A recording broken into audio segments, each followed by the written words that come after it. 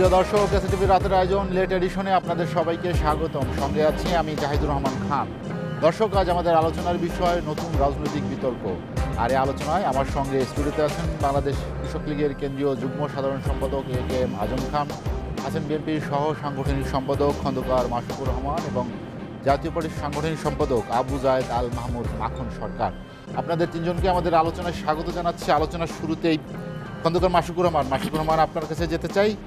আমরা যে নাম রেখেছি, আমরা ঠিক আলোচনাটা শুরু করতে চাই। আপনার দলের পক্ষ থেকে অভিযোগ করা হয়েছে যে আওয়ামী লীগ আর দেশ চালাচ্ছে না একটা অদৃশ্য শক্তি এই দেশ শাসন করছে।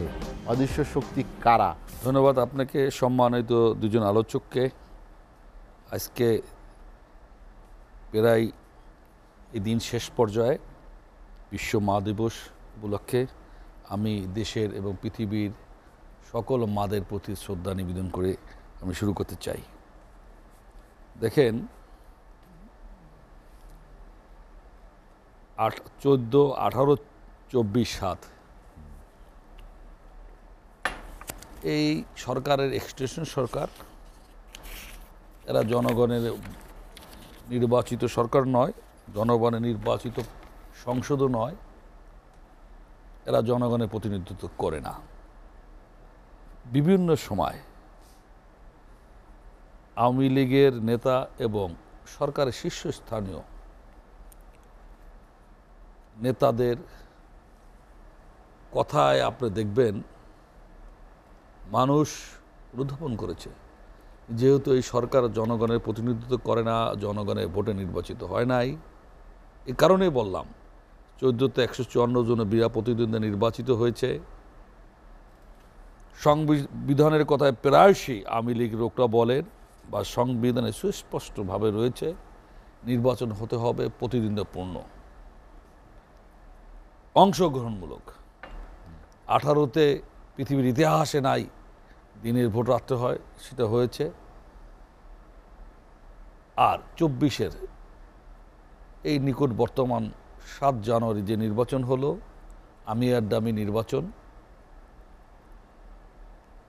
সেখানে জনগণের কোনো প্রতিনিধিত্ব বাছাই করবার সুযোগ ছিল না। ভোটারও দশ থেকে বারো পার্সেন্টের বেশি উপস্থিত হয়নি। সদ্য আট তারিখে উপজেলার প্রথম ধাপে নির্বাচন সেটাই প্রমাণ বহন করে। আর সে কারণেই মানুষ মনে করে এই সরকার পরিচালনা করে বহির বিশ্বের সুতার টানে। আমি যে কথা পূর্বেও বলেছি আওয়ামী লীগের দায়িত্বশীল ব্যক্তিরা তাদের কথায় সেটাকে প্রমাণ করে করেছে। সেই সেই থেকে আমাদের পার্টির মহাসচিব বলেছেন সুতার টানে সরকার প্রলোচনা হয়। যেমন আপনি সদ্য বিদায়ী পররাষ্ট্রমন্ত্রী ভারত সফর করে বাংলাদেশে ফিরে এসে বলেছেন আমি বলে এসেছি ভারতকে আওয়ামী লীগকে আবার ক্ষমতায় রাখতে হবে। উনি যথার্থই বলেছেন। এদেশের জনগণ ভোট দিয়ে আওয়ামী লীগকে ক্ষমতায় বসায় নাই। পার্টির মহাসচিব, তিনি সরকারের গুরুত্বপূর্ণ দায়িত্ব রয়েছে। তিনি বাংলাদেশের ঢাকার শহরের সবচেয়ে বৃহৎ মন্দিরে গিয়ে বলেছেন, দিল্লি আমাদের পাশে ছিল বলেই আমরা নির্বাচন নির্বাচন করতে পেরেছি। তিনি আজ বলেছেন যে জনগণের ভোটে নির্বাচিত হয়ে আওয়ামী লীগ দেশ চালাচ্ছে। না। কোনো অদৃশ্য শক্তি নয়। এটা বোকাও বিশ্বাস করে না। এই কথা শুনে গোড়াও হাসে। কি কারণে বললাম? আওয়ামী লীগের এত এত বড় একটা প্রাচীন দলের সাধারণ সম্পাদক উনি যেদিন দায়িত্ব পেয়েছে অদ্যবধি ওনার কথায় দুষ্ট লোকেরা ওনার শারীরিক মানসিক রুগীর মধ্যে ধরে নিয়েছেন, মনে করেন ওরা। এবং বিভিন্ন সময় সোশ্যাল মিডিয়ায় সেটা এসে এসেছে। উনি শুধু নয়, আরও দু একজন মন্ত্রী, ওনারা যে ভাষায় কথা বলে, ওনাদের স্বাস্থ্য পরীক্ষা করা উচিত। কারণ, দায়িত্বশীল চেয়ারে বসে সব কথা বলা যায় না। বিরোধী দলের চেয়ারে বসে অনেক কিছু বলা যায়। সেটা ধর্তব্য বিষয় নয়। রাষ্ট্র পরিচালনা, দেশ পরিচালনা করতে গিয়ে এই সব কথা বলা যায় না। তারপরে তাদের সুস্থতা নিয়ে জনগণের মধ্যে প্রশ্ন দেখা দিয়েছে। যারা এই এই এই চোদ্দ, আঠারো, চব্বিশে সাতই জানুয়ারি সরকারকে, সংসদকে যদি মনে করে জনগণের দ্বারা নির্বাচিত, এর চেয়ে মিথ্যা, এর চেয়ে ফ্যাসিস্ট বা এর চেয়ে আর রাজনীতিবিদদের প্রতি মানুষের অনা- অনীহা, রাজনীতিবিদদের প্রতি মানুষের অনাস্থা, এর চেয়ে আর কি বেশি কিছু হতে পারে না, এর মধ্যে অন্যতম অন্যতম কারণ। এবং আমরা সুস্পষ্টভাবে বলতে চাই এ দেশের জনগণ আওয়ামী লীগকে প্রত্যাখ্যান করেছে আওয়ামী লীগকে লাল কার্ড দেখিয়ে দিয়েছে। ওনারা যতই বলুক এই এই ওবায়দুল কাদের সাহেবরা যতই বলুক আমি মনে করি এটা শুনে এটা সে গোড়ায়ও হাসে। গোড়ায়ও হাসে। ওনা ওনা যদি এই সোশ্যাল মিডিয়া দেখতে পারতেন। ওনা এই পথ থেকে পদত্যাগ কর- কর- করতে পারতেন। খন্দকার মাসুকুর রহমান। আমি আপনার কাছে আবার আসব একিম আজম খান। যেটি খন্দকার মাসুকুর রহমান বলছিলেন যে, বিএনপির পক্ষ থেকে এ ধরনের অভিযোগ কেন আনা হচ্ছে? তাদের কেন মনে হচ্ছে যে, এই সরকার আর দেশ চালাচ্ছে না? অদৃশ্য কোনো শক্তি দেশ চালাচ্ছে? খন্দকার মাসুকুর রহমান বললেন যে, জনগণ সরকারের সাথে নাই। তাহলে দেশ চলছে কীভাবে? ধন্যবাদ আপনাকে। ধন্যবাদ ধন্যবাদ এসএ টিভির সম্মানিত দর্শক বিন্দুদেরকে। আমার সঙ্গে দুই বিজ্ঞ আলোচক আছেন। তাদেরকে ধন্যবাদ জানিয়ে। দেখেন, বিএনপি রাজনৈতিকভাবে একটি হতাশাগ্রস্ত রাজনৈতিক দল। হতাশায় নির্মজিত হয়ে গেছে। কি বলবে, কি বলা উচিত, কি করবে, আসলে তারা আসলে নিজেরাই চিন্তা করে পায় না। কখন কি বলতেছে তারা নিজেরাও জানে না। এই দলটার কোনো চেইন অফ কমান্ড নাই, কেউ কারও কথা মানে না। এটার নেতৃত্বে কে আছে, আল্লাহ ছাড়া কেউ জানেন না। তাই বলি, বিএনপি কি বলল এদেশে? এদেশে যাতে সাধারণ মানুষের কিচ্ছু আসে যায় না। কারণ এই দলটি আসলে গোছানো কোনো রাজনৈতিক দল নয়, সুসংগঠিত কোনো রাজনৈতিক দল নয়। একটি দল থাকা উচিত বিরোধিতার খাতিরে বিরোধিতা করা, সেইটাই তারা করতেছে। এখানে বিএনপি নামক রাজনৈতিক দলটি কি কথা বলতেছে যদি আপনি এটাকে কাউন্ট করেন, তাহলে বিএনপি তো নিজেরা চিন্তা করবে। আবল তাবল যাই বলি, মানুষের কাছে তো এটা নিয়ে আলোচনা হচ্ছে। দেখেন, অদৃশ্য শক্তি একটি রাজনৈতিক দল আওয়ামী লীগের কথা বলছে। অদৃশ্য শক্তি তারা আসলে অদৃশ্য শক্তির ক্ষমতা সম্বন্ধে তারা জানে না। অদৃশ্য শক্তি একমাত্র সৃষ্টিকর্তাকেই বোঝা যায়। যে সৃষ্টিকর্তা আর অদৃশ্যের ইশারায় পৃথিবী নামক একটি ভূখণ্ড তৈরি হয়েছে, পৃথিবী নামক এই জায়গাটি তৈরি হয়েছে। যে যে অদৃশ্য শক্তির ইশারায় এখানে আমরা যারা বসা আছি, আমরা সৃষ্টি হয়েছি। যে অদৃশ্য শক্তির ইশারায় আবার পৃথিবী ধ্বংস হয়ে যাবে। সেই অদৃশ্য শক্তিকে খাটো করে, ছোট করে দেখার কোনো সুযোগ নাই। দেখেন, অদৃশ্য শক্তি আছে বলেই পৃথিবীতে আজকে অনেক কিছুই হচ্ছে। অনেক অন্যায়েরও বিচার হচ্ছে। এই অদৃশ্য শক্তির উপরে আমরা প্রতিনিয়ত নির্ভর করি। আমার নেত্রী, মহান নেত্রী, তিনি সর্বদা আল্লাহকে বিশ্বাস করেন। আল্লাহর উপরে সর্বদা ভরসা রাখেন। সেই অদৃশ্য শক্তির তিনি পাঁচবার প্রতিদিন তাকে সিজদা করেন। আমরা তাকে পাঁচবার সিজদা করি। এই অদৃশ্য শক্তির কাছে রোহানি পায়, সিজদা করি। এই অদৃশ্য শক্তির রহমত চুকা আওয়ামী লীগের উপর আছে বিদায়। জাতির পিতার কন্যা বঙ্গবন্ধু শেখ হাসিনার উপর আছে বিদায়। তিন তিনবার তিনি সফলতার সহিত বাংলাদেশের মানুষের তিনি অভিভাবকের দায়িত্ব পালন করেছেন। এই পৃথিবীতে তিনি আল্লাহর যতক্ষণ পর্যন্ত এই অদৃশ্য শক্তির রহমত যতক্ষণ পর্যন্ত আমার নেত্রীর উপরে থাকবেন। মহান আল্লাহর ইশারায় তিনি আরও একই দিকবার এই দেশে প্রধানমন্ত্রী হবেন এই দেশের ভাগ্যের মানুষের উন্নয়ন করবেন। দেখেন এই পৃথিবীটা আজকে একটা ভয়ঙ্কর জায়গায় চলে গেছে। জি। যেখানে পৃথিবীতে একটা বড় করোনা গেল। এই যে আপনার উনিশ, বিশ, একুশ পর্যন্ত। ভয়- ভয়াবহ একটা যুদ্ধ হচ্ছে। ইউক্রেন, রাশিয়া একটা যুদ্ধ হচ্ছে। এদিকে আপনার ইরান, ইসরায়েল একটা যুদ্ধ হচ্ছে। সারা পৃথিবী ধরে একটা যুদ্ধের ডামামা চলতেছে। অর্থনৈতিক ভয়ঙ্কর ক্রাইসিস চলতেছে। আমেরিকার মতো দেশ একের পর এক ব্যাংক বন্ধ হয়ে যাচ্ছে। ইউরোপের মতো দেশ দেউলিয়া হওয়ার পথে। আপনার আজকে ইংল্যান্ডের অবস্থা দেখেন, যেখানে বিদ্যুৎ সহ নিত্যপণ্যের দাম কোনো কোনো ক্ষেত্রে চারশো পার্সেন্ট সাড়ে চারশো পার্সেন্ট মধ্যে বৃদ্ধি পাইছে। সেখানে এই অদৃশ্য শক্তির ইশারায় আজকে বাংলাদেশের মানুষ খেয়ে পড়ে ভালো আছে। এই অদৃশ্য শক্তিরই আমরা সর্বদা প্রার্থনা করি। এই অদৃশ্য শক্তির সাহায্য চাই আওয়ামী লীগ। এই অদৃশ্য শক্তির আমরা সর্বক্ষণ প্রার্থনা সেটা বোঝায়নি। তারা কি বলতে খান অদৃশ্য শক্তি আমার সৃষ্টিকর্তা ছাড়া পৃথিবীতে আর কোনো শক্তি থাকতে বলে আমরা যারা আওয়ামী লীগ করি আমরা এটা বিশ্বাস করি না। তাই এই অদৃশ্য শক্তির রহমত দিয়ে আমরা চব্বিশ সাল থেকে আঠাশ সাল পর্যন্ত ইনশাল্লাহ এদেশের মানুষের কল্যাণে আমার প্রিয় নেত্রী, মহান নেত্রী বঙ্গবন্ধুর কন্যা কাজ করে যাবেন। এরপরে এই অদৃশ্য শক্তির ইশারায় পরবর্তী টার্মও আবার তিনি ক্ষমতা থেকে সাধারণ মানুষের কাজ করবে এই অদৃশ্য শক্তিকে যারা নাস্তিক, তারা বিশ্বাস করে না। যারা সৃষ্টিকর্তাকে বিশ্বাস করে না, তারা নাস্তিক। তাই অদৃশ্য শক্তি নিয়ে যারা ক্রোশেন তোলে, তারা মুসলমান হতে পারে না। তারা নাস্তিকদের কাতারে। তাই আমি বলব, আমার জানতে ইচ্ছা করে অদৃশ্য শক্তি নিয়ে যারা কোশ্চেন করে তারা মুসলমান না নাস্তিক। তাই আমি জানতে চাই, আসলে কি তারা নাস্তিক কিনা? দেখি আজম খান, আমি আপনার কাছে আবার আসব। আবু জায়দ আল মাহমুদ, মাখন সরকার, যেটি আমরা আলোচনা করছিলাম, বিশেষ করে দেশ চালাচ্ছে কারা? এটি বিএনপির পক্ষ থেকে অভিযোগ করা হয়েছে। খন্দকার মাসুক তার একটি ব্যাখ্যা দিয়েছেন যে, পরপর বেশ কয়েকটি নির্বাচনে যেখানে হয়তো তাদের নানা অভিযোগ, অনুযোগ আছে যে, সে কারণে তাদের মনে হয়েছে যে দেশটি আর জনগণের না বা সরকার জনগণের সমর্থনে নেই। আপনার কি মনে হয়?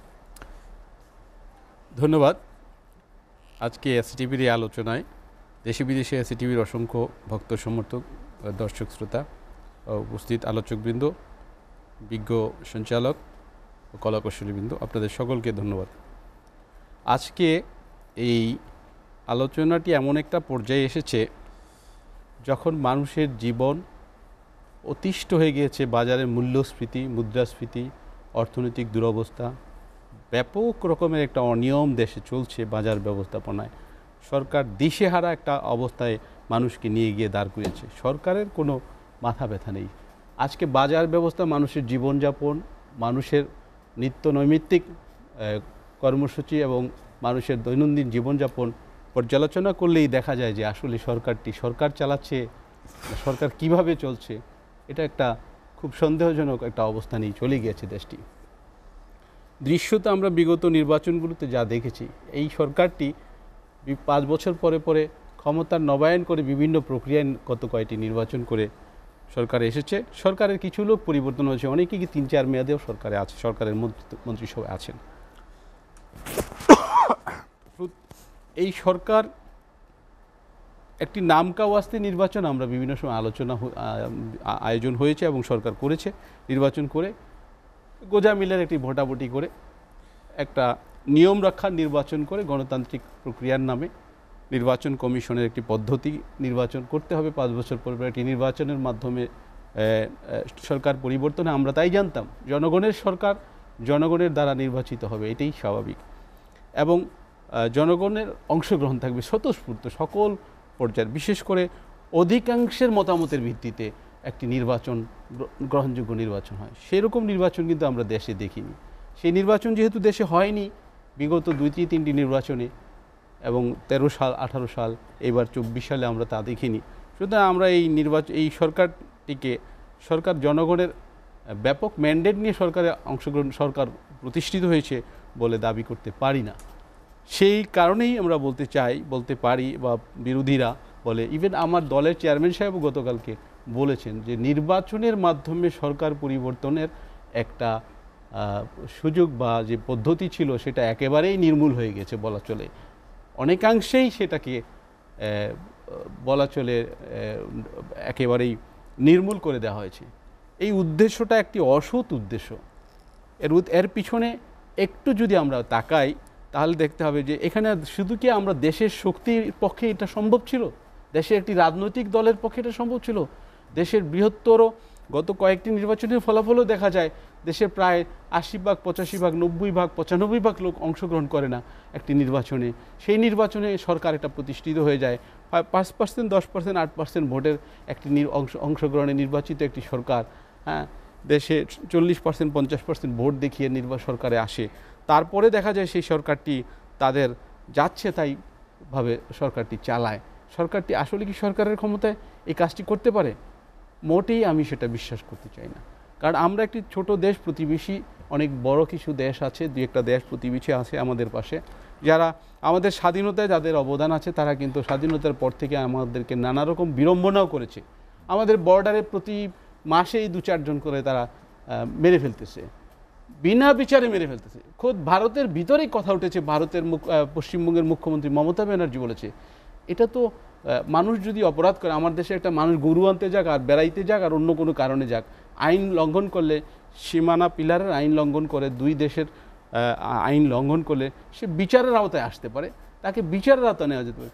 পাখির মতো গুলি করে মেরে ফেলতেছে, লাশ গুম করে ফেলতেছে, লাশ টেনে হেঁচড়ে নিয়ে যাচ্ছে। কিছুদিন আগেও আমি একটা ইয়েতে দেখলাম, ভিডিওতে দেখলাম যে বিজিবির এক সদস্য গুলি করতে করতে আমাদের বর্ডারের ভিতরে ঢুকে গেছে।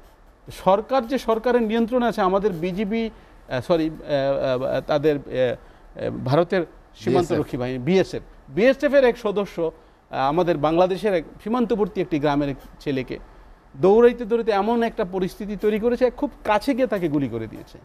মানুষ অনেক সময় দৌড়ে পালাই গেলে তো ভয় দেখায় সরে আসে। তাদের মধ্যে সেই মূল্যবোধটুকুও নাই। যে দেশের স্বাধীনতা এবং সরকারের উপর আরেকটি দেশের এরকম প্রভাব থাকে দেশের যে দেশের সীমান্ত এরকম অরক্ষিত সেই দেশের সরকার, সেই দেশের জনগণের নির্বাচিত সরকার দ্বারা পরিচালিত হচ্ছে, এটা আসলে বিশ্বাস করা অনেক কঠিন। এইখানে আপনাকে মনে রাখতে হবে, যখন অধিকাংশ জনগণের অংশগ্রহণে যদি কোনো জিনিস না হয়, সেখানে জনগণের আস্থা থাকে না, জনগণের শ্রদ্ধা থাকে না, আইন মানার মতো যে ইথিক্স থাকে, নিয়মকানুন থাকে, সেগুলো মানুষ মানতে চায় না। মানুষ তখন ব্যাপরোয়া হয়ে যায়, মানুষ তখন নিয়ন্ত্রণহীন হয়ে পড়ে। এখন সর্বশেষ যে পরিস্থিতিটা দাঁড়িয়েছে এলোমেলোভাবে দেশটা চলছে। দেশের বাজার ব্যবস্থা, অর্থনৈতিক অবস্থা, দেশের সামগ্রিক আইন কানুনের অবস্থা। আপনি সরকারি দলের লোকদেরকে আপনি দেখেন, তাদের জীবনযাপন দেখেন। তাদের এমন এমন আমি মানুষ, অসংখ্য মানুষ চিনি সরকারি দল করে, তাদের কোনো ব্যবসা বাণিজ্য নেই, একটি ট্রেড লাইসেন্সও নেই। কিন্তু তারা দামি দামি গাড়ি হাঁকিয়ে চলছে। আজকে সতেরো, আঠারো বছর তারা ক্ষমতায়। তাদের কোনো ব্যবসা বাণিজ্য নেই। তাদের অতীত ইতিহাস অনেকের আমরা জানি, যার কোনো রকম ছোটোখাটো ব্যবসার রেফারেন্সও নেই। সেরকম সেরকম মানুষগুলো কি করে এরা? সচিবালয়ের বিভিন্ন কাজে তো আমরা যাই আমরা দেখি তো। ছাত্রলীগের যুবলীগের এক্স এবং বর্তমান কত ছেলেমেয়েরা সচিবালয়ে ঘুরতেছে এবং এরা গেলে পরে অফিসাররা কি আচরণ করে? আর আমরা যারা ব্যবসায়ী পরিচয়ে যাই রাজনৈতিক পরিচয়টা আমরা সেখানে দিতে পারি না কারণ দিলে আমাদেরকে পানি চাও খাওয়াবে না। তা আমরা যখন ব্যবসা বাণিজ্যের পরিচয় দিয়ে যাই আমরা দেখি তাদের সাথে কি পরিমাণ আচরণ করে। ছাত্রলীগের খুব নিম্নমানের খুব ছোট পর্যায়ের একজন নেতাকেও আমরা দেখি। খুব ইজ্জতের সাথে সচিবরা আদর আপ্যায়ন করে। তাদেরকে হয়তো কফি খাওয়াচ্ছে, ভালো ভালো আপ্যায়ন করতেছে। আমাকে হয়তো এক কাপ রং চা কোনোরকম দিচ্ছে বা দিচ্ছে না। আমি অনেকক্ষণ বসে আছি, আমরা, আমি বা আমার মতো অসংখ্য মানুষ এরকম বসে আছি ওয়েট করতেছি। দেখা গেছে ওই ওই ছাত্রলীগের ওই বা যুবলীগের এক্স বা বর্তমান একজন নেতা বা নেত্রীকে নিয়ে ওই অফিসার ব্যস্ত। ওই অফিসার কিন্তু প্রজাতন্ত্রের কর্মচারী, প্রজাতন্ত্রের কর্মকর্তা, তিনি কিন্তু আঠারো কোটি মানুষের কর্মকর্তা, কর্মচারী, তিনি কিন্তু সকলের স্বার্থ সমানভাবে দেখবেন। তিনি এই- এই প্রতিজ্ঞা করেই কিন্তু এই চাকরিতে তিনি নাম লিখিয়েছেন এবং রাষ্ট্রের বেতনভোগী কর্মকর্তা, কর্মচারী হয়েছেন। তিনি তো তার দায়িত্ব সঠিকভাবে পালন করছেন না জনগণের প্রতি। তিনি একটি বিশেষ বাহিনীর, বিশেষ দলের আজ্ঞাবহ হয়ে কাজ করছেন। তো ওই দলটিও ঠিক এমনিভাবে একটি বিশেষ দেশের বিশেষ স্বার্থান্বেষী গোষ্ঠীর আজ্ঞাবহ হয়ে কাজ করছে। বাংলাদেশের জনগণের পক্ষে কাজ করছে বলে আমি বিশ্বাস করি না। যদি আমার দেশের একটি মানুষকে মেরে ফেলা হয় প্রতিবেশী দেশ থেকে গুলি করে, আমার দেশ থেকে সে প্রতিবাদ করতে কোনোদিন শুনি না। আজকে ভারতের একটি মানুষকে যদি বর্ডারে চিমটিও কাটা হয়, পরের দিন বাংলাদেশের পররাষ্ট্র মন্ত্রণালয়কে হ্যাঁ ডেকে নেওয়া হবে। বাংলা ওখানে যারা আমাদের হাই কমিশনার আছে তাদেরকে ডেকে নিবে। আমাদের বিজিবির কিছু সদস্য একসময় একটি সাহসী কর্মকাণ্ড করেছিল। বর্ডারের ওই পারে গিয়ে একটি ঘটনায় কয়েকজন বিএসএফ সদস্যকে গুলিবিদ্ধ করেছিল, তারা হতাহতের ঘটনা ঘটেছিল। তখন ভারতের মন্ত্রণালয়গুলোতে যারা দায়িত্ব ছিল, স্বরাষ্ট্র মন্ত্রণালয় ছিল, তারা হুঙ্কার দিয়েছিল, বাংলাদেশের বিজিবিকে ঘুরিয়ে দেওয়া হোক। এই ঘুরিয়ে দেওয়ার সূত্র ধরেই কিন্তু আমি ধরে নিচ্ছি যে ওই একটি কথার সূত্র ধরে তারা হয়তো দশ বছর, পনেরো বছর পরে তাদের মিশন সাকসেস করেছে বিডিআর হত্যাযজ্ঞের মাধ্যমে। সুতরাং বাংলাদেশের মানুষ আদৌ স্বাধীন পুরোপুরি স্বাধীন বলে আমি মনে করি না, বাংলাদেশের মানুষ পুরোপুরি নিরাপদ বলে আমি মনে করি না। এবং বাংলাদেশের যে রাজনৈতিক দলটি, এখন বৃহৎ রাজনৈতিক দলটি, যার হাত ধরে বাংলাদেশ স্বাধীন হয়েছে বঙ্গবন্ধু ডাকে দেশটি স্বাধীন হয়েছে, যে দেশ আমার বাবা চাচারাও মুক্তিযোদ্ধা, আমার বাবা চাচারাও তাদের ডাকে সারা দিয়ে যুদ্ধ করেছে, তাদের সাথে যুদ্ধ করেছে, ছাত্রলীগ করেছে অনেকে এখনও আওয়ামী লীগের সাথেও জড়িত আমার পরিবারে। কিন্তু এই যে ঘটনাটি আজকে ঘটলো বাংলাদেশে এত বড় একটি নোংরা ন্যাক্কারজনক ঘটনা ঘটলো। এটি একদিনে কিন্তু ঘটেনি। এখানে নানান রকমের ব্যাপার রয়েছে।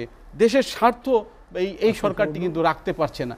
এই সরকার কীভাবে চলছে কেমনে চলছে এটা একমাত্র বলা চলে মাহমুদ। মাখন সরকার আমরা একটা বিরতি নিতে চাই। বিরতির পরে আবার আসব। দর্শক লেট এডিশনে নিচ্ছে একটা বিরতি। ফিরবো শিগগিরই সঙ্গেই থাকুন।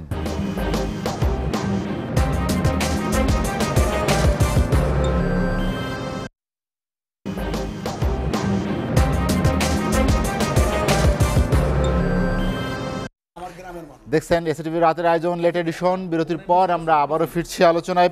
খন্দকার মাসুকুর রহমান যেটি নিয়ে আলোচনা করছিলাম আমরা রাজনীতিতে বেশ কিছু বিষয় আসছে যেমন মির্জা ফখরুল ইসলাম আলমগীর আজ বলেছেন যে বিরোধী রাজনৈতিক নেতাদের নির্বাচন এবং রাজনীতি থেকে দূরে রাখার জন্য বিশেষভাবে বিচার করে তাকে শাস্তি দেওয়ার জন্য ট্রাইব্যুনাল তৈরি হচ্ছে।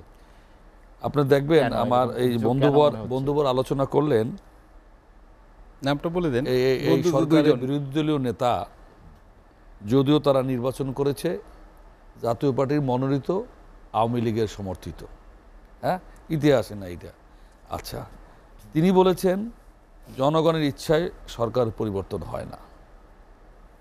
আসলে তো তা হয় না। আজম সাহেব অনেক কথার অবতারণা করেছে। আমি তো মনে করি বিয়াল্লিশ সাল পর্যন্ত আমি ইলেকশন করার দরকার নাই তো। জনগণের টাকা ট্যাক্সের টাকা নষ্ট করে ইলেকশন করার দরকার নাই। এইটা সংসদে বললেই তো হয় যে আঠাইশ সাল বিয়াল্লিশ সাল পর্যন্ত নির্বাচিত বলে গণ্য হবে। পাস। আইন আছে তো এটা ওই যে বলছিল ভোট ভোটার দশ পার্সেন্ট ভোট কেন্দ্র। একজন ভোটার আছে ওই ওইটাই নির্বাচিত বলে গণ্য হবে। এখানে তো বলা নাই যে চল্লিশ পার্সেন্ট ভোটার ভোট আমার এ 40% বিয়াল্লিশ না, পার্সেন্ট। এক বিয়াল্লিশ percent। পার্সেন্ট লোক ভোট সেন্টারে আইসা ভোট দিল। তো কি আপনাদের হইল না, না না, বিএনপি অংশগ্রহণ করলে আর পনেরো এখানে পার্সেন্ট বলার 42% হয়ে গেল। না, 20% বাড়তো। বাড়তো। আঠাশ 20% পার্সেন্ট বাড়াইতে গেল, এক ঘণ্টার না না মধ্যে। আপনারা অংশগ্রহণ করলে লজ্জা আপনারা অংশগ্রহণ করলে বিয়াল্লিশের সঙ্গে আর পনেরো বাড়াইতেন। আমি হিসাব তাহলে হিসাব করে বিশ পার্সেন্ট বাড়াইতেন। আম- তাহলে আমি- বাষট্টি পার্সেন্ট হতো। আমি- আমি চিন্তা তাতে করে বিএনপি দেখলাম, কি দাঁড়াইতো? লজ্জা যদি থাকে তাহলে রাজনীতি করা যায় না। আমি আমি একজনকে বলছিলাম এই যে দুজন দেখো একজন এই যে নাই। কি কারণে বলি? আমি আমি বলছিলাম, কেন্দ্রে যদি এক, একজনও ভোটার আসে, নির্বাচিত গণ্য হবে। আইনে তো সমস্যা নাই। আইনে সমস্যা আছে? সমস্যা নাই। তো ওই ওই বর্তমান এই বিরোধী দলীয় নেতা, এগারো জনের নেতা ইটালিও তো সমালোচনা আছে। তিনি যখন বলেন, জনগণের ইচ্ছায় সরকারের পরিবর্তন হয় না। তার মানে সরকার পরিবর্তন করে জনগণের ভোটের দরকার নাই। সুতরাং এই এই সরকারকে তো জনগণ চালায় না। ভিন্ন দেশের সুদার টানাতে সরকার চলে। আর আমা- আমাদের মহাসচিব যে যথার্থই বলেছেন, আপনি দেখবেন আঠাশ তারিখের ঘটনার পর, সাত তারিখ পর্যন্ত বিএনপি কত লোকের বিচার হয়েছে? সাজা হয়েছে। আপনাকে আমি আমি, আপনাকে আমার আরেকদিন ই দিলে আমি কোন মামলায়, কার কত? সাজা সাজা, একটার পর একটা, সাক্ষী প্রমাণ ছাড়াই। এক সাজা হয়েছে। আপনি দেখেন কি দ্রুত গতিতে সাজা হয়ে গেছে। হ্যাঁ? আপনার আপনার ময়লার গাড়িতে ফখরুল সাল আলমগীর সাহেব গিয়া ভাঙছেন এইটা তদন্ত করে রিপোর্ট দেন আর সাগর রুনির দেশ সবার পরিবর্তন হয়েছে, এইটা আপনি রিপোর্ট দিতে পারেন না। এই তো অবস্থা ভাই। আপনি আমার বন্ধুরা যে কথা বলেছেন, আরে ভাই চেন অফ কমান্ড বিএনপির নাই। সাত তারিখে জানুয়ারি সাত তারিখে নির্বাচনে আওয়ামী লীগের প্রধান বললেন অল টু ওপেন, সবার জন্য খোলা। কেন উনি বললেন না? এমপি মন্ত্রী প্রধানমন্ত্রী আত্মীয় দিতে পারবে না? আরে ভাই সংসদে শেখ পরিবারে কজন আছে? প্রধানমন্ত্রী আত্মীয় কজন. এটা শেখ পরি এটা তো শেখ পরিবারে পার্লামেন্ট। সেখানে বললেন না হ্যাঁ? আপনারা কি করলেন? উপজেলা ইলেকশনে এসে বললেন কি এমপি মন্ত্রীদের আত্মীয় স্বজন দিতে পারবে না। আচ্ছা উনি আত্মীয় উনি স্বজনদের একটা সংজ্ঞা দিলেন। ছেলে মেয়ে স্ত্রী পুত্র বউ। হয় নাই শুনছে? কেউ শুনছে?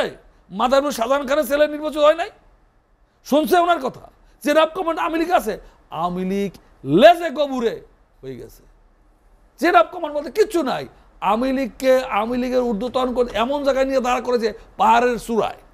যে সময় পড়ে যাবে, অত্যন্ত দুঃখ পৈতাবের সাথে মাননীয় প্রধানমন্ত্রী বলছিলেন, আমার বাবা যখন বত্রিশ নম্বরে পড়ে আছে, একটা লোক চিৎকার করে নাই আওয়ামী লীগে একটা লোক।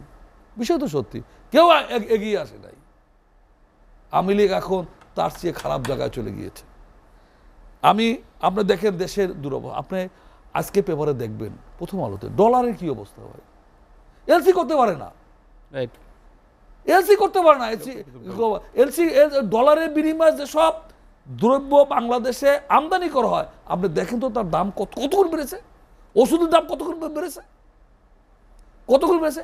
আপনি দেখেন দুই দিন আগে একটা পত্রিকা দিল প্রথম আলো ন্যাশনাল ব্যাংক একটা বাংলাদেশে বেসরকারি আপনাকে অত্যন্ত গুরুত্ব সহকারে আমি বিষয়টা শুনতে বলি। বাংলাদেশে যে কটি বেসরকারি ব্যাংক ছিল পত্রিকার ভাষা নয় সালের আগে ন্যাশনাল ব্যাংক একটা অন্যতম। নয় সালের পর আওয়ামী লীগ ক্ষমতায় আসে একটা পরিবার শিকদার পরিবার উনি বলছে শিকদার পরিবারের ছেলে মেয়ে স্ত্রী পুত্র নাতি দিয়ে এই ব্যাংকটাকে লুটপাট করে খেয়েছে। বারো হাজার কোটি টাকা ই করছে ই মাফ করে দিছে। জানি বলে সুদ। খেলাপি। এবং এইটাকে অবস্থা, ভয়াবহ অবস্থা। আমার কথা না, ব্যাংকের কথা। বা এটা কোন ব্যাংকটা বলেন তো? Islam bank, Sonali bank, Bangladesh bank, ছয়টা ব্যাংকের নয়টা ব্যাংকের নাম লেখছিল, প্রকাশ করেছিল, সেটা বন্ধ করে দিয়েছে। ক্ষমতার জোরে, বন্দুকের জোরে আপনি মুখ টুটি টেপে ধরেছেন। পুলিশ প্রধানের দুর্নীতির কথা যখন ছাপা হলো, দ্বিতীয় ছাপার সময় টুটি ধ- ধরলেন। একটা একটা দেশে সরকারের সে টাকা যখন একটা পরিবারের কাছে বেশি হয়, সে দেশ সে দেশ আর চলতে পারে না ভাই। সরকারের টাকার সে একটা পরিবারের কাছে টাকা বেশি। আমরা পারছেন এস আলমের টুটি টেপে ধরতে হাইকোর্ট বললেন, তার বিরুদ্ধে ই করা যাবে না, দুর্নীতি তদন্ত করা যাবে না। আপনার দুর্নীতি দমন করবেন কীভাবে? আপনার দ্রব্যমূল্য, আপনার ডলার, ইউক্রেনের আর রাশিয়ার যুদ্ধ। এখন ফিলিস্তিনি আর ইসের যুদ্ধের কথা কইয়া আপনার দ্রব্যমূল্যের দাম বাংলাদেশে যেটা উৎপাদনের, সে দাম বাড়লো কেন? কীভাবে? কোনটাকে মরিচের দামের সাথে সম্পর্ক কি? পেঁয়াজের দামের সাথে সম্পর্ক কি? ডিমের দামের সাথে ইউক্রেনের যুদ্ধের সম্পর্ক কি? আমি যেটা ডলারের বিনিময়ে আনতে হয়, আমি ধরলাম বিমানের ভাড়া। দ্বিগুণ, তিগুণ, তিনগুণ বাড়ছে। সেটা তো নাই বা বললাম। আপনি এই এখানে বাড়লো কেমনে? আজ পর্যন্ত এই সিন্ডিকেট আপনি হিসেবে ধরতে পারেন নাই ভাই। টুটি ব্যর্থ পারেন নাই। কেমনে পারবেন ভাই? এরা- এটা কারা? এই এই- এই এরা আমি আমি লীগের ঘরানোর লোক। আওয়ামী লীগ ঘরানার লোক। যারা জনগণের ভোটে নির্বাচিত হয় নাই জি। তাদের তারা তো জনগণের কথা চিন্তা করতে পারে না ভাই। আপনি ভোটের ব্যবস্থাটা কোথায় নিয়ে গেছে আপনি একটু দেখেন তো। স্থানীয় সরকার নির্বাচন। আমি এক মিনিটে শেষ করব। যদিও আজকে আলোচনা স্থানীয় সরকার নির্বাচনে আমাদের দেশে একটা উৎসবমুখীর পরিবেশ হতো ভাই। সেখানে স্কুলে হেডমাস্টার দাঁড়াইতো। একজন রিটায়ার্ড আর্মি কনস্টেবল এরা এরা দাঁড়াইতো গ্রামের মসজিদ ইমাম দাঁড়াইতো মেম্বার চেয়ারম্যান এসবে। ভাই সেইটাকে দলীয়করণে এক লক্ষ টাকা জামানত। মার্কা দিয়া। আর জামানা মার আর ভাই জামার আমি ওখানে পাঁচ লক্ষ করল তো ভোট তো আর আমি আর ডামির তো। ভোট তো আমি আর ডামির সেখানে পাঁচ লক্ষ জামাত আমি লীগের লোকের সমস্যা নাই তো। যে কথাটা আপনি বলছিলেন আমি খুব ঠান্ডা মাথায় শুনছিলাম। আপনি আওয়ামী লীগের যারা নয় থেকে। আপনি আপনার এখানে টকশো করতে আসে নয় থেকে এই- এই পর্যন্ত তাদের এক বেলা ভাত খেতে পারতো না। তারা তিন বেলা সোনার গা গিয়ে ভাত খায়। খন্দকার মাসুকুর রহমান আমি আপনার কাছে আবার আসব। Abu Zayed A K M Azam Khan আপনার কাছে যেতে চাই। যেটি খন্দকার মাসুকুর রহমান বলছিলেন উপজেলা নির্বাচনের কথা। আওয়ামী লীগের চেইন অফ কমান্ড এটি কাজ করেছে কিনা এটি একটি প্রশ্ন তার যে না। আসলে নির্বাচনে যেতে তো তারা ভয় পায়। এখন কি বলবে? এটা খুঁজে একটা সুন্দর নির্বাচন হয়েছে। মানুষের অংশগ্রহণমূলক নির্বাচন হয়েছে। নির্বাচনে গন্ডগোল হয় নাই, লাশ পড়ে নাই, মারামারি, দরাদরি হয় নাই, ব্যালট বাক্স নিয়ে দৌড়াদৌড়ি হয় নাই, এইটা হলো তাদের সমস্যা। নির্বাচন হবে, মারামারি হবে, সেখানে লাশ পড়বে, এটা ছিল বিএনপির প্রত্যাশা। সাধারণ মানুষ স্বতঃস্ফূর্তভাবে নির্বাচনে অংশগ্রহণ করেছে। দেখেন, নির্বাচনে আপনার প্রায় চল্লিশ পার্সেন্ট ভোট পড়েছে। এখন একটা সমস্যার কথা বলি। নির্বাচনটা যে সময় হয়েছে, সেটা হলো যে এর এক মাস আগে আপনার ঈদুল ফিতর গেল আপনার রোজার ঈদ গেল। আবার এক মাস পরে মাঝখানে পনেরো দিন বন্ধ যায় আবার এক মাস পরে আপনার ঈদুল আজহা কোরবানির ঈদ। এই মাঝখানে যে নির্বাচনটা হচ্ছে গ্রামের অধিকাংশ মানুষ ঢাকা সহ সমগ্র শহরগুলোতে তারা কর্মব্যস্ত কর্মময় জীবনে আছে। এবং এমন একটা সময় নির্বাচনটা হলো যখন মানুষ এই রোজার ঈদ এবং কুরবানির ঈদের মাঝখানে তারা গ্রামে যেতে পারে না। নির্বাচনটা হলো মঙ্গলবার দিন। নির্বাচনটা যদি নির্বাচন কমিশন বুধবারের দিন। বুধবারে নির্বাচনটা হলো। যদি আপনার রবিবারে নির্বাচনটা দিত এবং সরকারের সঙ্গে কথা বলে তারা দুই দিন পরবর্তীতে ছুটির ব্যবস্থা করত। তাহলে শুক্র শনি ছুটি পেত মানুষ গ্রামে যাইতো। রবিবারে ভোট দিয়ে একদিন পরে ছুটি পাইলে একদিন বা দুই দিন পরে তারা ঢাকায় আসতো। কিন্তু সেটা না করে বুধবারে তারা নির্বাচন করল। এই মাঝামাঝি সময় গ্রামের সমস্ত মানুষগুলো শহরে এসে তারা তার কর্মময় জীবনে দেখেন যে যে কাজটি করুক না কেন, আপনার গোটা বাংলাদেশের সমস্ত প্রতিষ্ঠান, রাষ্ট্রীয়, বেসরকারি সব চালু। এখান থেকে মানুষ চাইলেই শহরে প্রায় পনেরো থেকে বিশ পার্সেন্ট লোক ভোট সেন্টারে ফিরে যেয়ে তারা ভোট দিতে পারে নাই। চাইলেই তারা ভোট সেন্টারে যেতে পারে নাই। একটা বিষয় আর একটা বিষয় হলো চল্লিশ পার্সেন্ট, প্রায় চল্লিশ পার্সেন্ট ভোট কাস্ট হয়েছে। আচ্ছা বিএনপি যদি নির্বাচনে অংশগ্রহণ করতো, তাহলে পনেরো পার্সেন্ট ভোট বাড়তো বা সর্বোচ্চ বিশ পার্সেন্ট ভোট বাড়তো। আচ্ছা আমাদের দেশে ষাট, বাষট্টির উপরে বিএনপি যখন ক্ষমতায় ছিল তখন কি তারা ওই একবার পনেরোই ফেব্রুয়ারির নির্বাচন ছাড়া তারা কি কখনো দেখাইতে পারছে? আমরা একানব্বই, ছিয়ানব্বই, আমরা দুই হাজার এক, বাষট্টি, তেষট্টি, পঁয়ষট্টি, সত্তরের নিচে যে নির্বাচনগুলো হয়েছে, সেই নির্বাচনী উপজেলায় আমরা দেখেছি তো এই তো ভোট। স্থানীয় সরকার নির্বাচনে দেখেছি আমরা এই তো ভোট হয়, ষাট, পঁয়ষট্টি, এর ভিতরেই তো ভোটটা থাকে। এখন আপনার যেখানে প্রায় চল্লিশ পার্সেন্ট বিএনপি অংশগ্রহণ করলে আবারও বলি, আপনার পনেরো থেকে বিশ পার্সেন্ট তাহলে পনেরো থেকে বিশ পার্সেন্ট যদি ভোটে অংশগ্রহণ হতো তাহলেই তো স্বচ্ছতা এসে গেল তারা। আপনার তারা নির্বাচনে আটটা আসনে বিজিত হয়েছে, তারা নির্বাচিত হয়েছে। চারটা, আটটা জায়গায় জিতেছে। এইটুক তাদের ক্ষমতা। এর বেশি ক্ষমতা নাই। আপনার আগামীতে যে নির্বাচনগুলো আছে, যেখানে যেখানে তারা জিতবে, সেখানে তাদের ক্যান্ডিডেট থাকবে। তারা যেখানে নির্বাচনে আগে বুঝতে পারবে যে এই জায়গাটায় তাদের অবস্থানটা বলো বিএনপির, সেখানে তারা ক্যান্ডিডেট দেবে। আবার অপর পক্ষ থেকে বিএনপি থেকে ওই যে ঘোমটা দিয়ে নির্বাচন অংশগ্রহণ করা, তারা বলবে, আমরা কিন্তু আমাদের দলের প্রার্থীকে আপনার বহিষ্কার করলাম। আসলে তাদের বহিষ্কার নয়, এটা হলো তাদের একটা কৌশল। নির্বাচনের সময় নির্বাচনী মাঠকে চাঙ্গা রাখার জন্য, ক্যান্ডিডেটকে পাশ করার জন্য রাজনৈতিক প্ল্যাটফর্মে দাঁড়িয়ে রাজনৈতিক দল একাধিক কৌশলের অব- অবস্থান নেয়। এমনই একটা কৌশল হলো বিএনপি নির্বাচন থেকে সরে আসা। নির্বাচনের কারণ, গ্রামের গঞ্জে যে পরিমাণ উন্নয়ন হয়েছে, আপনার সমস্ত গ্রামে ঢুকলে পরে আলোর ঝলকানি। আপনার মনে হয় যে এটা একটা শহর, এটা ইউরোপের মতো এখন গ্রামকে মনে হয়। সমস্ত জায়গায় রাস্তাঘাট হেন কোনো জায়গা নাই যেখানে উন্নয়নের ছোঁয়া। আমার জাতির পিতার কন্যা জননেত্রী শেখ হাসিনার হাত ধরে উন্নয়নটা হয় নাই। সেই গ্রামে এখন কেন মানুষ বিএনপির পাশে থাকবে? কেন মানুষকে ভোট দেবে? বিএনপি তো এই দেশে কোনো কিছু দিতে পারে নাই। সন্ত্রাস ছাড়া অগ্নিসংযোগ ছাড়া, জীবন্ত মানুষকে পুড়িয়ে মারা ছাড়া, রাষ্ট্রীয় সম্পদ ধ্বংস করা ছাড়া, এই দেশে বিএনপির কী দেশে, কী আছে? বিএনপি সারা জীবন এই দেশের মানুষকে কষ্ট দিয়েছে। মানুষের পক্ষে তারা কোনো কথা বলে নাই। এদেশের উন্নয়নে একটি দৃষ্টান্ত, আপনি দেখান, বাংলাদেশের মাটিতে বিএনপির হাত ধরে একটি বড় ডেভেলপমেন্টের কথা বলেন, যে ডেভেলপমেন্টটা বিএনপি দিয়েছে, বিএনপি অগ্নিসন্ত্রাস দিয়েছে, পেট্রোল বোমা দিয়েছে, আপনার গাড়িতে মানুষ আগুন দিয়ে পুড়িয়ে মারেছে, এই দেখেন সেদিনও সাভারে আমরা দেখলাম বিএনপি বিএনপি যুবদলের নেতারা আপনার পেট্রোল বোমা বের করল, একজনে আপনার ভ্যান গাড়ির উপরে রাখল আর একজনে সেই পেট্রোল বোমা নিল, গাড়িতে মানে একবারে লাইভ দেখাচ্ছে। এখন মানুষের হাতে এই মোবাইলগুলো হলো ক্যামেরা, বড় বড় ক্যামেরা। ক্যামেরাগুলো দিয়ে তারা দেখে। এই বিএনপি তাই নির্বাচনে ভোট, ভয় পায়। বিএনপি চায় কি জানেন? পশ্চিমাদের দ্বারা একটা বড় ষড়যন্ত্রের মধ্যে দিয়ে, বড় একটা কিছুর মধ্যে দিয়ে ভোটবিহীন ভোটের নামে একটি নাটক হবে, সেই নাটকে বিএনপি রাষ্ট্রীয় ক্ষমতায় আসবে। কখনো কোনো দিন এই দেশের মানুষ বিএনপিকে ভোট দিবে না। কেন ভোট দিবে? এই সমাজ, ছাত্র সমাজ, এই দেশের যুব সমাজ, তারা আজকে অনেক দূরে গিয়ে গেছে। প্রতিটা লোকের হাতে অ্যান্ড্রয়েড ফোন তারা জানে বাংলাদেশের ডেভেলপমেন্ট বিএনপির আমলে মাত্র দশ হাজার কিলোমিটার আপনার মেগা মেগা রাস্তা ছিল। আর এখন আজকে প্রায় দুই লক্ষ কিলোমিটার। আপনার আপনার এই যে এই যে বড় বড় রাস্তা যেটা আপনার ইউরোপে আছে আমেরিকা আছে কানাডা আছে রাস্তায় উঠলে পরে অবাক দৃষ্টিতে তাকিয়ে থাকে জানলার ফাঁকা করে মানুষ দেখে যে আধুনিক রাস্তা কত সুন্দর রাস্তা। এই যে ওনার বাড়ি ফরিদপুরে লজ্জা করে না? এই যে পদ্মা সেতু পাড়ায় যেতে হ্যাঁ? কীভাবে যাবে? আপনার কাছে আবার লজ্জা থাকা উচিত?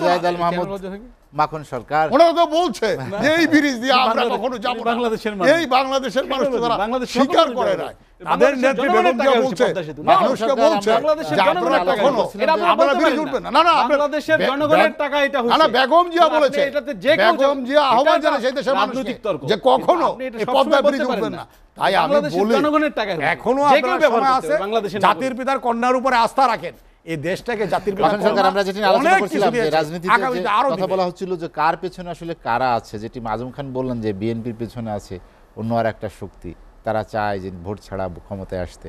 এবং বিএনপি ভোটকে ভয় পায় দেখেই ভোটে আসে না। খন্দকার মাসুকুর রহমান বললেন যে নির্বাচন ব্যবস্থাই নাই। কীভাবে? অ্যাকচুয়ালি দুইটি কথার দুইটি অর্থ। নির্বাচন ব্যবস্থার পরিবেশ নাই নির্বাচন ব্যবস্থাপনা সুষ্ঠু নেই নিরপেক্ষ নেই এটাই আসলে প্রমাণিত। কীভাবে? এটাই প্রমাণিত গত কয়েকটি নির্বাচনে ওয়েট আমি আলোচনা করি আমার আলোচনায় আসবে নির্বাচনে আপনাদেরকে আপনি মানুষ ভোট দেয় না আপনি। আলোচনায় বলবেন। আপনারা জিততে পারেন না আবার কাছ আপনার। আলোচনায় বলবেন। মানুষ এই দেশে মুখ ফিরিয়ে নিছে দেখে নির্বাচনী ব্যবস্থা খারাপ হয়ে গেল আপনি আপনার আলোচনায় বলবেন আমার চেয়ারম্যান সহ আমার দলের সিনিয়র নেতারা কিন্তু বলছে যে নির্বাচনটি নিরপেক্ষ অবাধ হয়নি সুষ্ঠু হয়নি বা বেশি সংখ্যক যে কয়টা জায়গায় দিচ্ছেন আপনারা। সেই জায়গা হয়েছে অংশগ্রহণ হয়নি ওয়েট নাও কাম আমাকে আসতে দিন ওই পয়েন্টে আসতে দিন আবার ওনারা প্রতিপক্ষকে বিএনপিকে আক্রমণ করে আরেক রকম ইঙ্গিত করছে। রাজনীতির পিছনে সকল দলই আমি যখন ক্ষমতায় যাওয়ার একটা স্বপ্ন কাছাকাছি থাকব বা অবস্থানে থাকব আমার পিছনে কিছু দেশি বিদেশি বা রাষ্ট্র বা বিদেশি বন্ধু থাকবে। সমর্থন থাকতে পারে। সেই সমর্থনটাকে আমরা কোনো কোনো ক্ষেত্রে বন্ধু সুলভ দেখি কোনো কোনো ক্ষেত্রে শত্রু সুলভ দেখি। এনিওয়ে এটা ইতিমধ্যে মানুষ জানে।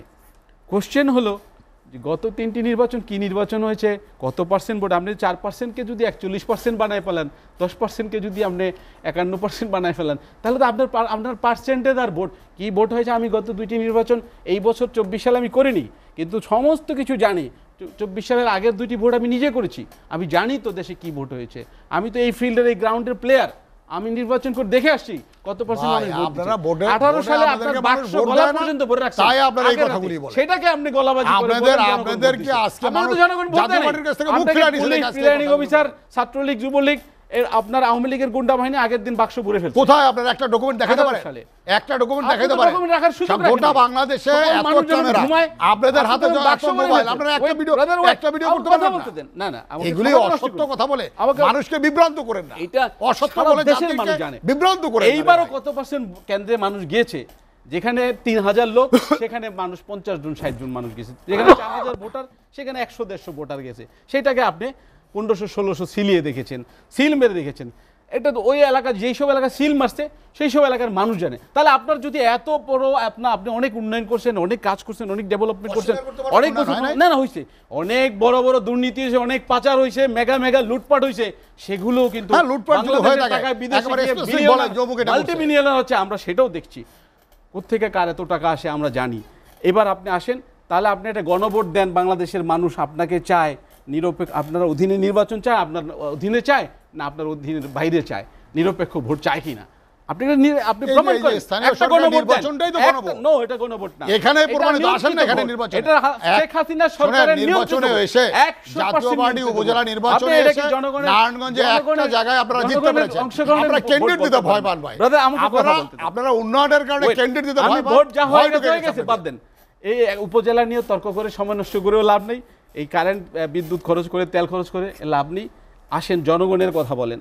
আজকে যেই প্রশ্নটা আসছে বাংলাদেশের সবচেয়ে বড় সমস্যা আজকে ডলার। এক লাফে সরকার বাংলাদেশ ব্যাংক একশো দশ টাকা থেকে একশো সতেরো টাকায় নিয়েছে। আজকে এই কারণে একজন ইম্পোর্টার আমাকে ফোন করেছে। সে আমি বললাম তোমরা কীভাবে এটা পোষাবে? সে বলল যে আমি আমি যদি আগে একশো শত আগে কিনতাম হলো একশো দশ টাকাটা আমি একশো পনেরো ষোলো সতেরো টাকায় কিনতাম।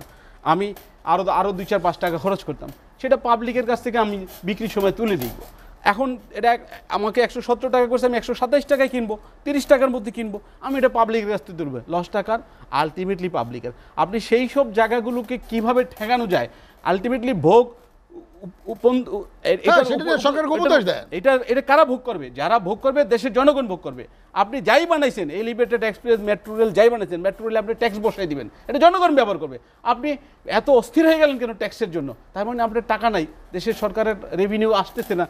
আপনি এইবার আসেন। আপনি গ্রোস ডোমেস্টিক প্রোডাকশন যেটা জিডিপি আপনি সেখানে নজর নেই আপনার।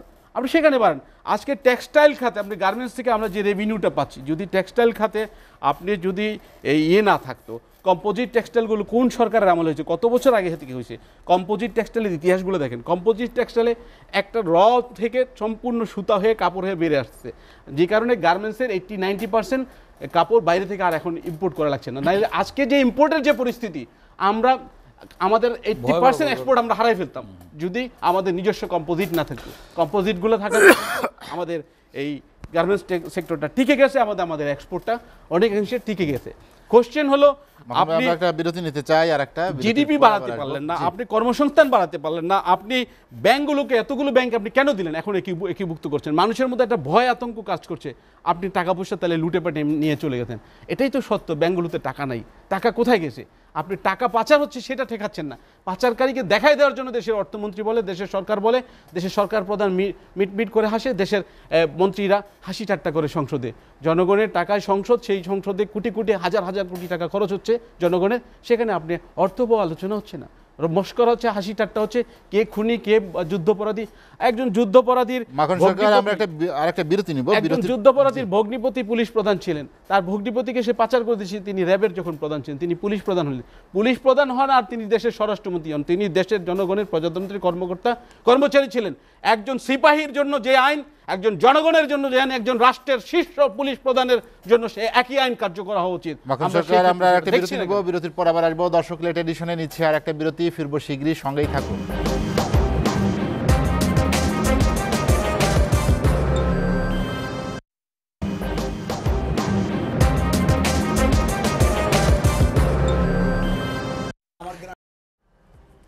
দেখছেন এসএটিভি রাতের আয়োজন লেট এডিশন বিরতির পর আমরা আবারও ফিরছি আলোচনায়। খন্দকার মাসুকুর রহমান যেটি নিয়ে আমরা আলোচনা করছিলাম রাজনীতি একটি বড় বিষয় যেটি আবু জায়দ আল মাহমুদ মাখন সরকার নিয়ে এসেছেন যে অর্থনীতির বিষয়টি। ডলার সংকট নানা বিষয় বৈশ্বিক অর্থনীতিকে অর্থনীতির চাপ না সরকারের পরিচালনায় কোনো ত্রুটি আছে দুর্বলতা আছে সেজন্য মানুষ আমি আপনার বলি সঠিক বলেছেন উনি আর দেশটা তো আওয়ামী রাষ্ট্রে পরিণত হয়েছে শোনেন। ব্যাংক সেক্টর এই সেক্টরটাকে ধ্বংস করার একটা অন্যতম কারণ অনেকগুলো কারণের মধ্যে দলীয় বিবেচনায় দলীয় লোকে দেওয়া এই দেখেন সাবেক স্বরাষ্ট্রমন্ত্রী ডক্টর কি নাম ছিল? ভুলে গেলাম চাঁদপুরের। মহিউদ্দিন খান আলমগীর। মহিউদ্দিন খান আলমগীর। ব্যাংকটা দিয়ে স্বার্থ বলো তার আগে উড়ি লুটপাট করে খেয়ে এই দলীয় বিবেচনা যতগুলো ব্যাংক দিছে এই ব্যাংকের মাধ্যমে দুন টাকা পাচার হয়েছে। সবকটা ব্যাংক যেগুলো একীভূত হচ্ছে একটা ব্যাংক বলেন আমি বলি একটা ব্যাংক বলেন বাংলাদেশের সবচেয়ে বড় ব্যাংক আমরা ছোট সময় দেখি সোনালী ব্যাংক সেই ব্যাংকটা নয়টা ব্যাংক বাংলাদেশ ব্যাংক বলেছে ঝুঁকির মুখে তার মধ্যে সোনালী ব্যাংকও আছে। সোনালী রূপালী অগ্রণী জনতা আমরা সবসময় মনে করতাম সরকারি ব্যাংক আচ্ছা এক সরকারি ব্যাংক হ্যাঁ মালিকানা সরকারি হ্যাঁ। পার্সেন্ট মালিকানা শেয়ার মালিকানা সরকারি. সেগুলো ধ্বংস করেছে। কি কারণে? কেমনে ধ্বংস হলো? দলীয় বিবেচনায় লোন দিতে গিয়ে যেমন আমি আজকে বলতেছিলাম একজনকে খুব আপনজন যে পাঁচশো কোটি টাকা নেয় সে লোন নেওয়ার সময় ভাবে এই টাকা আমার ফেরত দিতে হবে না। আমার বাড়ির পাশে আমাদের জমি জমা চাষ করতো আয়ুব আলী দপ্তরি, কাকা মারা গেছে, হাল চাষ করতো। বাদাম আর চানাচুর বিক্রি করতো। দেখি কি তারে হ্যান্ডকাপ দিয়ে পুলিশ নিয়ে যেতেছে। বিএনপি ক্ষমতা একানব্বই দিয়েছে কৃষি লোন আসছে। লোন নিছে এটা পরিশোধ করতে পারে নাই। যদি কৃষি লোন নিয়ে কোনো রকম প্রাকৃতিক দুর্যোগের কারণে ধানে ক্ষতি হয়ে যায়, পাটের ক্ষতি হয়ে যায়। তাহলে কিন্তু এই কৃষক শেষ পাঁচ হাজার টাকা যে কৃষক লোন নেয়, তাকে হ্যান্ড কাপ দিয়ে জেল খাটতে হয়। আর পাঁচশো কোটি টাকা দিলে সে আর ফেরত দিতে দিতে হয় না। কেউ দেয় নাই। এই আওয়ামী লীগের নয় সাম থেকে এই পর্যন্ত কারা ব্যাংক লোন দিছে বলেন, বিএনপি একটা লোক লোন পাইছে। আমি এটা ক্রেডিট কার্ড করতে পারি নাই ভাই। দুনিয়ার কাগজ। দুনিয়ার কাগজ পাই এক লাখ দুই লাখ পাঁচ লাখ টাকা ক্রেডিট করতে পারি নাই। দুনিয়ার কাগজ। কারা নিছে এই লোন এই লোনগুলা আওয়ামী লীগ গড়ানোর লোন এই কমিশন পাইছে সরকারের হোমরা সোমরারা সরকারের সর্বোচ্চ ব্যক্তি থেকে আওয়ামী লীগের এ- এরা কমিশন খায় নাই। ব্যাংক জড়িত না। ব্যাংক কোনো এক যে আপনার একটা ল্যান্ডের মূল্য দশ গুণ পাঁচ গুণ বাড়াইয়া দেখাইয়া হয়েছে এই যে এই দেখেন উপজেলা ইলেকশনে হলফনামা অনুযায়ী প্রথম আলো ধারাবাহিক লেখে এক হাজার গুণ কা- আর্থিক- কারণ কোথায় ছিল এরা? আর্থিক কেলেঙ্কারিতে যাদের নাম আসছে গণমাধ্যমে তারা কি আওয়ামী লীগের কোনো পজিশনে আছে কোথাও? পজিশন থাকা লাগে আপনার এস- এস আলম কি আওয়ামী লীগের পজিশন আছে? জয়নালাক সিকদার একটা পরিবার ধ্বংস করছে আছে? বলেন এরা কোন পদে থাকা লাগে? আরও অনেকে নাম বললাম না সমস্যা আছে। আছে আপনি আপনি বলে নাই? আওয়ামী লীগের মন্ত্রী বলে না, সালমান রহমান ইঙ্গিত করে যে শেয়ার বাজার এক লক্ষ টাকা লুট করছে, আমার প্রধানমন্ত্রীর পাশে যখন তাকে বসতে দেখি তখন তো আমার বোঝা হয়ে গেছে। তা আপনি আর কেমনে করবেন? কেমনে করবেন বলেন? এস আলম ইসলামী ব্যাংকটার পর ডিটেলস লেখে নাই? প্রতিবাদ করছে কেউ? এই এই যে জনক শিকদার শিকদার পরিবারে ন্যাশনাল ব্যাংকটা করছে, কার টাকা? এই টাকা কার? করে নাই? তার টাকা কোথায়? টাকা বাংলাদেশে আছে? আরে ভাই বাংলাদেশে আজম সাহেবের এক হাজার টাকা এখানে আইসা যদি দুই কাপ চা খায় একটা সিঙ্গারা খায় পাঁচশো টাকা ভাঙায় এটা ওই ওই ওদের কাছে যায় রিক্সা ভাড়া দেয় ওইটা আবার আমার কাছে যায়। আমি যাই একটা পাঁচশো টাকা নোট এই চারজনের কাছে দিলে ওটা দাম হয় দুই হাজার টাকা আর একটা পাঁচশো টাকা পরে থাকলে একটা কাগজ অনলি রুলিং অর্থনীতি চাঙ্গা করে ভাই। আর ওনা দাঁড়ান ওনা ডেভেলপমেন্টের সংখ্যা কি বলেন আপনি? আগে গণতন্ত্র নাকি ডেভেলপমেন্ট খান ডেভেলপমেন্ট করে নাই? কেন আইব খানকে আমরা সরাইলাম আমরা? আপনি ডেভেলপমেন্টে আপনি পদ্মা সেতুর কথা বলেন। আমরা পদ্মা সেতু কার আমাদের করছেন? কার কার কি বেতনের টাকায় না পরিবারের টাকা এই আমার জনগণের টাকায়। সেই টাকা লুট করছেন আপনারা। তিন গুণ চার গুণ পাঁচ গুণ একশো গুণ একশো বৃদ্ধি করে। মেগা প্রকল্পের নামে প্রতিটা মেগা প্রকল্প আপনারা লুটপাট করেছেন। এই লুটের বিচার একদিন বাংলাদেশ হবেই। খন্দকার জনগণের টাকা। খন্দকার মাসুকুর রহমান আমি আপনাকে অসংখ্য ধন্যবাদ। আমার সঙ্গে আলোচনায় যোগ দেওয়ার জন্য একে মাজম খান আলোচনা শেষ করতে চাই। আর্থিক কেলেঙ্কারি বা অর্থ লুটেরা যারা আছে তাদের বিচার হবে বাংলাদেশের মানুষ করবে যেটা খন্দকার মাসুকুর রহমান বললেন। দেখেন আমরা প্রত্যাশা করতেছি বাংলাদেশে একটা গঠনমূলক বিরোধী দল তৈরি হোক। আপনার মাসুক ভাইয়ের কিছু গঠনমূলক সমালোচনা আমার কাছে ভালো লেগেছে। না, আপনি এমনটা ভালো প্রত্যাশা করি। গঠনমূলক বিরোধী থাকা দরকার। গঠনমূলক আমি আপনার সমর্থন করি। আপনার কথা সমর্থন করি। আমি যদি কেউ একটা রাষ্ট্রের জন্য না, একটা আমি- আমি আপনাকে শক্তিশালী বলি, সরকার বাংলাদেশের অর্থ একটা শক্তিশালী আমাদের দেশের অর্থ যদি কেউ পাচার করে তাকে আইনের আওতায় আনা উচিত। এটা তো সে হলো সবচেয়ে আর্থিক বাংলাদেশের সবচেয়ে সবচেয়ে অনিয়ম হয়েছে দুর্নীতি হয়েছে আমাদের দেশের অর্থ আমার যদি অন্যায়ভাবে অর্থ অর্থ ইনকাম করে সেই অর্থটা যদি দেশের কল্যাণে মানুষের কল্যাণে ব্যয় করে তাহলে সেটাকে তার লাগবে। পাপটাকে লঘু পাপ হিসাবে চিহ্নিত করা যায় রাষ্ট্র মনে করলে। কিন্তু যিনি আমার দেশের সম্পদ পাচার করবেন তাকে তো লঘুবাব বলা যায়। না দেখুন আপনার ওনার দলের নেতা তারেক জিয়া সাহেব। আমাদের শ্রদ্ধীয় নেতা বিএনপির যিনি আজকের ধারক বাহক বলা হয় এখন বর্তমান সময় তার ভাই আল্লাহ তালা তাকে জান্নাতবাসী করুক আপনার টাকা পাচার করে নিয়ে গেছে। সিঙ্গাপুর থেকে, আমেরিকা থেকে, বিভিন্ন জায়গা থেকে টাকা ফেরত এসেছে বাংলাদেশে। এমনটা তো হওয়ার কথা নয়। তার নেত্রী বেগম খালেদা জি আমার আমার মায়ের মতো নেত্রী, শ্রদ্ধেয় নেত্রী। তিনি সাদা টাকা, কালো টাকা সাদা করেছেন। তিনি তো প্রধানমন্ত্রী ছিলেন। তার তো তার তো এখানে তার বাসায় কালো টাকা তো থাকার কথা না। তিনি ট্যাক্স দিয়ে মানে আপনার কালো টাকাকে সাদা করেছেন, এর চেয়ে দুঃখ কি থাকতে পারে তাই বলি। গঠনমূলক সমালোচনাটা এটা জাতির কাছে সবাই প্রত্যাশা করে। বিএনপি গঠনমূলক সমালোচনা করুক, যে অন্যায় করেছে তার অন্যায়টা দেখিয়ে দিক। আপনার আপনার এই যে ফালু সাহেবের, বিভিন্ন পুকুরে এই জায়গায় সেই জায়গায় বড় বড় টিনের চালান পাওয়া গেছে। আপনার এই যে বিএনপির, আপনার বড় বড় নেতাদের এই যে আজকে যারা আছে, এই যে গয়সা রায় থেকে শুরু করে, আপনার এদের বাড়ি ঘরে বিভিন্ন জায়গায় পানির নিচে থেকে টনকে টন, হাজার হাজার টন সদা, আপনার টিন, রাষ্ট্রীয় টিন, সরকারি টিন, সেগুলো তাদের পুকুরে পাওয়া গেছে। তাদের বাড়ির খালে, ঘাটে, এখানে, ওখানে পাওয়া গেছে। আজকে এই সমালোচনা করুন। আমাদের দেশের বিরোধী দল পার্শ্ববর্তী বন্ধুবর রাষ্ট্র যে রাষ্ট্রটি বাংলাদেশ নামে দেশটাকে স্বাধীন করার জন্য এত করল, রক্ত দিল সেই দেশের বিরোধিতা করে অথচ সেই দেশে জন্ম করা আপনার মানুষগুলোকে নিয়ে তারা সংসার করে। ফখরুল সাহেবের ওয়াইফ পরিপূর্ণ না আমরা আলোচনা শেষ করতে চাই ব্যক্তিগত বিষয়ে আমি করতে চাই না। আপনাদেরকে বলি আসেন না ধন্যবাদ। সমালোচনা হোক। আবু সাইদ আল আবু জায়দ আল মাহমুদ মাখন সরকার মাখন সরকার আমরা আলোচনা শেষ করতে চাই। রাজনীতির এই বিতর্ক কি চলবেই? শুধু বিরোধিতাই, বিরোধিতায় থাকবে কিনা? আপনি একটি শক্তিশালী বিরোধী দল যদি আপনি আশা করেন এবং গঠনমূলক সমালোচনা যদি আপনি আশা করেন গঠনমূলক সমালোচনার মধ্যে অনেক ভুল ত্রুটিগুলো তাহলে জাতীয় পার্টি দুই তুলে আসবে। আমি- আসে। আমি আপনাকে- আমি আমি একটু বলতে আমাদের- চাই। সেই শ্রদ্ধাবোধটা আমাদের ক্ষমতাসীন দলের মধ্যে গত সতেরো বছর আমরা দেখিনি। তারা সমালোচনা পছন্দ করে না আমাদের দেশে বিরোধী দল আমি- আমি- আপনাকে বলি- সময় শেষ। আমার সময়টা আপনি নষ্ট করেন। সমালোচনা না, করে সঞ্চালক দেশের বিরুদ্ধে আমি-। সঞ্চালককে বলছি। এরকম করলে তো আলোচনা করা যাবে না। আপনি বলছেন তো অনেক বলছেন। বিরোধী দল করে আপনি- সরকার আপনি- আপনি সরকারে আসছেন দশ টাকা সে চাল খাওয়াবেন বলে। আপনি ঘরে ঘরে চাকরি দিবেন বলে সরকারে আসছেন। আপনি একটি হুজুগ তুলে দিয়ে সরকারে আসছেন। ঘরে ঘরে আপনি চাকরি দিতে পারেননি। বাণিজ্য নিয়োগ বাণিজ্য করেছেন সুইপার থেকে শুরু করে দপ্তরি পিয়ন হ্যাঁ? তারপরে কনস্টেবল সমস্ত নিয়োগে আপনি অফিসার পর্যন্ত সক- সকল নিয়োগে দল। দলপ্রীতি করেছেন দলীয়করণ করেছেন নিয়োগ বাণিজ্য করেছেন। আপনি আজকে রিজার্ভের দিকে তাকান এটা সতেরো আঠারো ডলারে চলে আসছে এক ষাট টাকা 18 বাড়ার কারণে। সতেরো আঠারো ডলারে সতেরো আঠারো বিলিয়নে চলে আসছে। সতেরো আঠারো বিলিয়নে চলে আসছে কারণ এক ধাক্কায় সাত টাকা ডলার দাম বাড়ছে। আপনি সেটাকে ঠিক করার চেষ্টা করেন। আপনি অনিয়ন্ত্রিতভাবে নতুন নতুন ব্যাংক লাইসেন্স দিলেন। কোনো কাজ আসলো না যে ব্যাংকগুলোকে এখন একীভূত করছেন। ওই সবলের গাড়ে দুর্বলকে চাপিয়ে দিচ্ছেন। একটি সুস্থ সবল দেহে দেহের সাথে আরেকটি রুগ্ন শরীরের ভাইরাস ঢুকিয়ে দিচ্ছেন যাতে ওই সুস্থ শরীরটাও অসুস্থ হয়ে যায়। ওই ব্যাংকটাও যাতে নষ্ট হয়ে যায়। আপনি আজকে হজে গত বছর বিশ বিশ জন আহ, আহ, মানুষকে সরকার হজ করাইছে, এবার সত্তর জনকে করাইছেন। মানে মনে হলো যে সরকার অনেক বেশি সক্ষম হয়ে গেছে। হ্যাঁ টাকাগুলো কিন্তু জনগণের।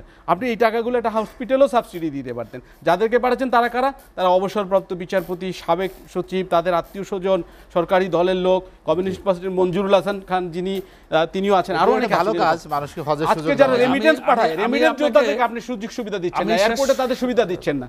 আপনি আজকে সাকিবুল হাসান একরা এমপি উনি আমাদের ক্রিকেট দলে এখনও ভাতা খায়। উনি একটা কেসিনিও জুয়ার অ্যাড করতেছে। আপনি অস্থির হয়ে যাবেন অনলাইনে থাকতে পারবেন না তার অ্যাডের জ্বালায়।